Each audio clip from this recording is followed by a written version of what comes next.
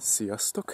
Itt vagyunk nem messze a magyar-szlovák határtól, Ipoly-Tarnócon vagyunk, és az itteni állomásnak éppen a Balassagyarmat felüli kiáratánál állunk. Mögöttem látjátok a, az itt lévő tekerő sorompókat, és most egy olyan vonalat fogunk ö, bejárni, illetve olyan vonalnak fogjuk megnézni a megállóhelyét, megállomásait, ahol mai napig ö, aktív utasforgalom van.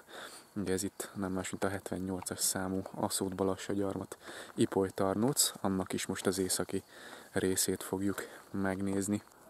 Na íme itt a tekerős sorompó, az itteni útátjárónál, ugye a Balassa gyarmat felől érkező szóló bézék itt szoktak végállomásozni, naponta négyszer járnak erre felé, ugye délelőtt és délután és kétszer, és íme az állomás területét látjátok.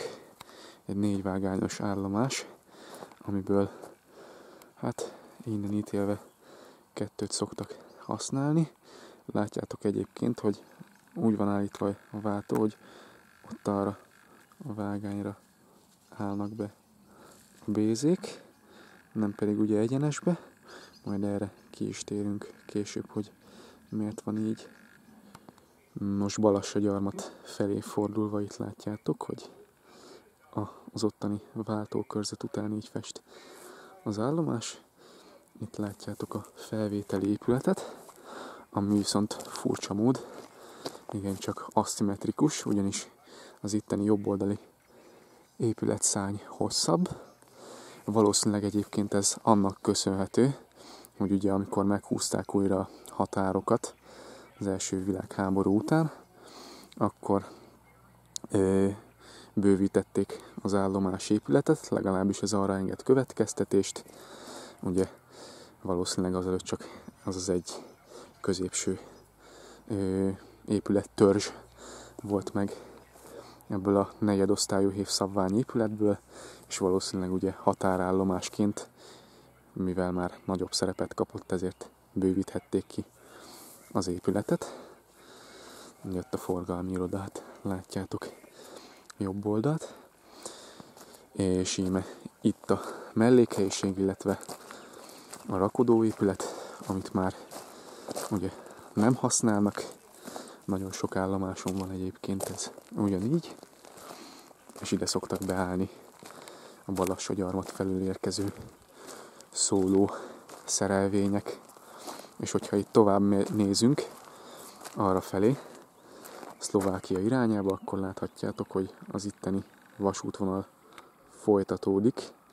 Egyébként ez Losonc felé, Losonc irányába folytatódik ez a vasútvonal, ugyanis ez az állomás egy úgynevezett magyar-szlovák koridor vasútnak a nagy része, Ugye ez alatt azt kell érteni, hogy a szlovák vasúthálózatnak van egy Losonc Kalonda nagykürtös vasútvonala, amelyben a, az Ipoly Tarnóc és Nógrád szakán közötti vonalszakasz, az itt Magyarország területén fut. Ezen a vasútvonalon egyébként teherszállítás folyik már, legalábbis szlovák részről. Ugye ezért is van az, hogy ide állnak be a személyvonatok, ugyanis az átmenő forgalom az itt tud jönni, hogy a teherszerelvények szoktak járni nagy kürtösre, Losonc felől.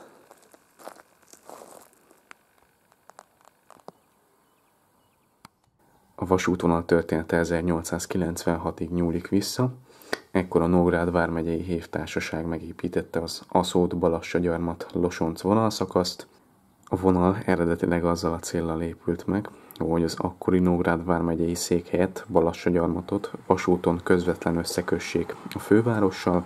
Balassa-gyarmaton már ekkor is volt vasút, a MÁV egykori leányvállalata, a Garam Ipoly völgyi MÁV társaság építette meg 1891-ben a Csata és Balassa-gyarmat közötti vonalszakaszt, majd ezután öt évvel először Raszód és Balassa-gyarmat, majd pedig Balassa-gyarmat és Ipolytarnócon keresztül Losonc között is megépült a vasútvonal. Nagy változást egyértelműen az első világháborút követő trianoni békeszerződés hozott a vasútvonal életében. Az Ipolyság és Drégei Palán közötti vonalszakaszt felszették, az Ipoly Tarnóc és Losonc közötti vonalszakasz pedig először Csehszlovákiához, majd annak felbomlása után pedig Szlovákiához került, az átlós személyforgalom megszűnt. Az átlós teherforgalom viszont megmaradt, a nagykürtösről jellemzően szenet szállító vonatok szoktak Losoncra járni, illetve vissza, és ezen a vonalon a Nógrád szakál és Ipoly Tarnóc közötti vonalszakasz pedig Magyarország területére esik, a teher és személyszállító vonatok Nógrád szakállálomáson szokták egymást keresztezni, az ottani állomásnak a kialakítása teszi ezt lehetővé.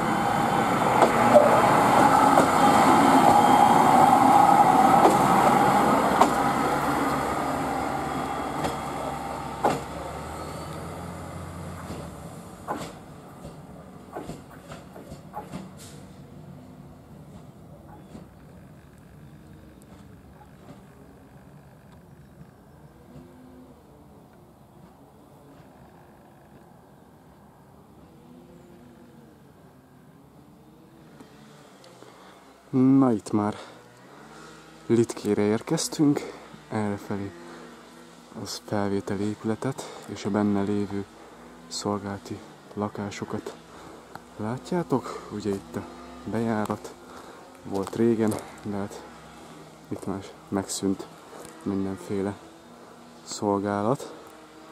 Ugye egykor még ez is egy állomás volt, majd ott is megnézzük a területét. Íme így néz ki kívülről az állomásnak a bejárata. Itt a szokásos mávos kerítés, de nem hézagmentesen áll már itt, és akkor erre felé látjuk majd a vágányokat. Hát látjátok néhány nyílás, ahol már az üveg hiányzik, ott be van deszkázva ilyen OSB lappal. És akkor itt látjátok az állomásnak a területét, ami már hát inkább megállóhely szerepét tölti be. Itt a menetrendeket látjátok, és a menetrendet és a díjszabá, vasúti díjszabásokat. Napi 8 vonat, 4 tarnóc, 4 pedig gyarmat irányába. És akkor íme a peron, ahova a bézék, vagyis a bézé, hát a szimpla bézé szokott beállni. Ennyi. Igazából ott egyébként látjátok egy gyarmat felé fordulva a váltó körzetet, ahol azok már kilettek szedve.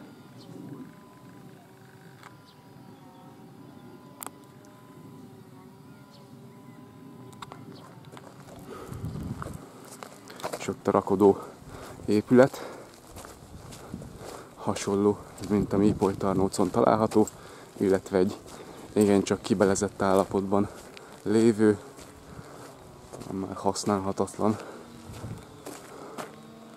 mellékhelyiség.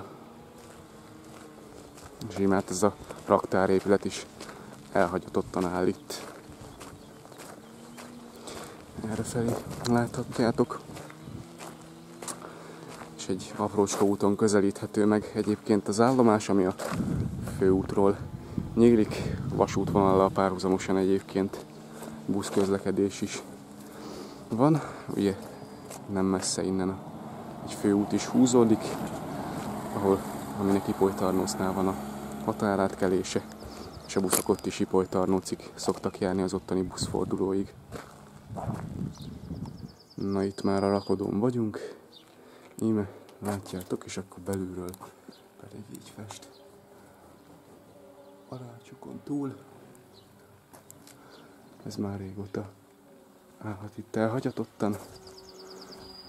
Íme másik oldalról egy már lelakatolt kapu, és egy igen csak rozsdás tábla, amiről azért még leolvasható a helyiségnek a neve, és itt pedig a rakodónak a másik oldala bejárati út felől.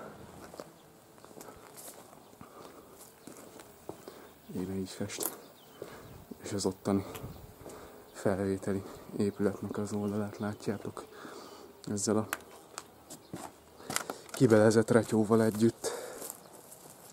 Úgyhogy így fest a, az egykor szebb napokat is megélt, már nem állomás, hanem csak megállóhely, Litke.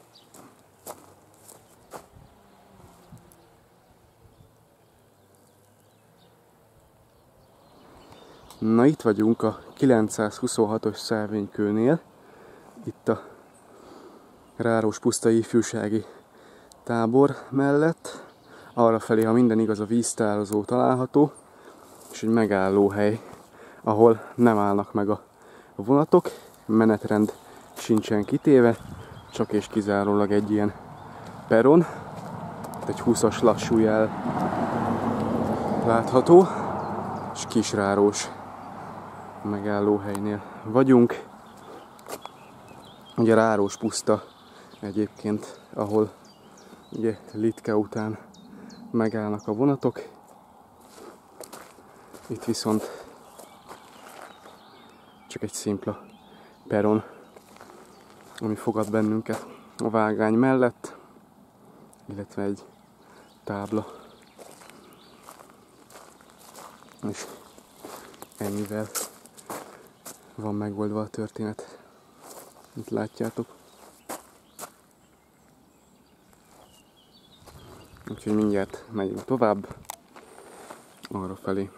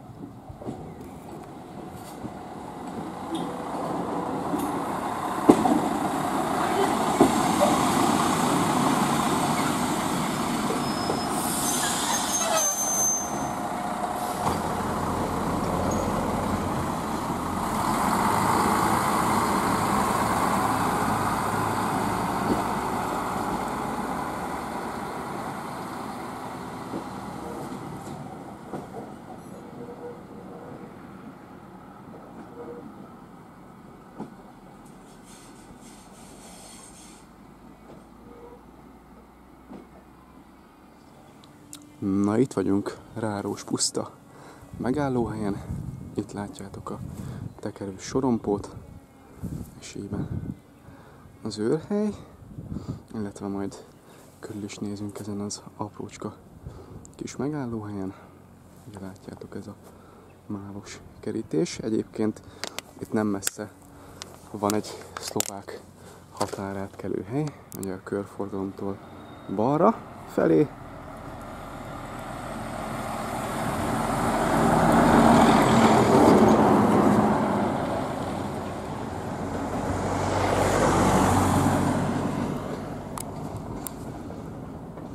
Lá, na és bekúszott egy ikarusz a képbe.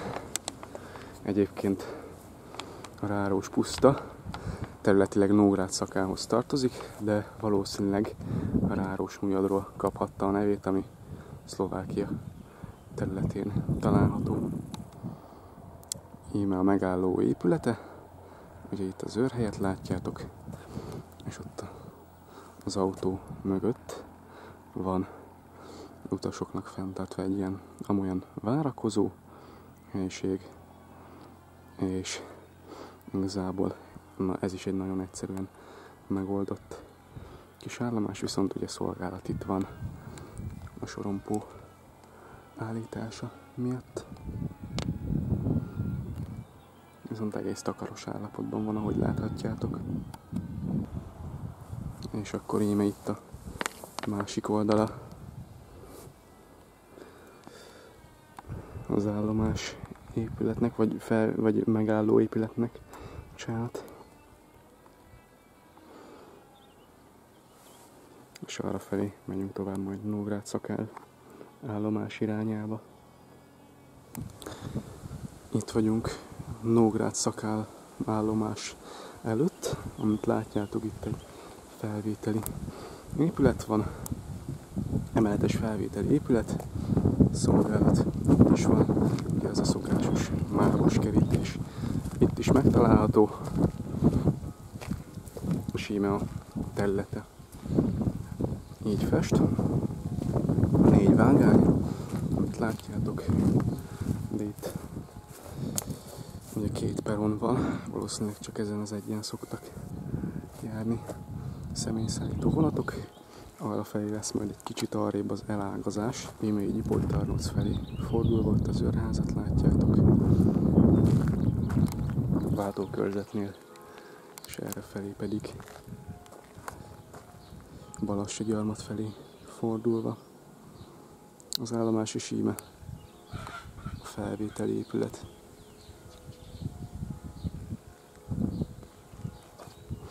Erre felé. Na itt Ludányhalászinál vagyunk, erre felé láthatjátok a, az igencsak roskadozó állapotban lévő felvételi épületet, ahol a nyílások látjátok be vannak deszkázva, több mint, sőt hát biztos, hogy ez itt el, elhagyatottan áll, épp hogy csak azért el, épp hogy csak olvasható a kiírás a táblán, peron pedig így fest, látjátok itt egész szemminimálban van megoldva. Itt azért be van nőve egy kicsit a zöld növényzettel, egy aprócska pad, és igazából látjátok, hogy többé-kevésbé ennyi. És itt látjátok, hogy ki van írva a menetrend, illetve a vasúti díjszabások amik minden állomáson azért ki vannak téve. Minden állomáson és megállóhelyen ki vannak téve. Íme így fest másik oldalról. Ugye ezen az úton lehet megközelíteni, ami a főútról nyílik, és hát így sem szebb a helyzet. És így fest az áll, a megállóhelynek a többi része, ahogyan láthatjátok. Úgyhogy én innen Ludányhalásziból köszönöm meg mindenkinek a megtisztelő figyelmet. Ipolytarnóztól idáig végigjártuk az állomásokat és a megállóhelyeket. A az északi, legészakibb szakaszán. Úgyhogy majd tervezem folytatni a sorozatot és bemutatni ezen a vonalon több állomást és megállóhelyet is. Úgyhogy még egyszer innen elbúcsúzom tőletek, találkozunk majd legközelebb egy új másik videóban. Sziasztok!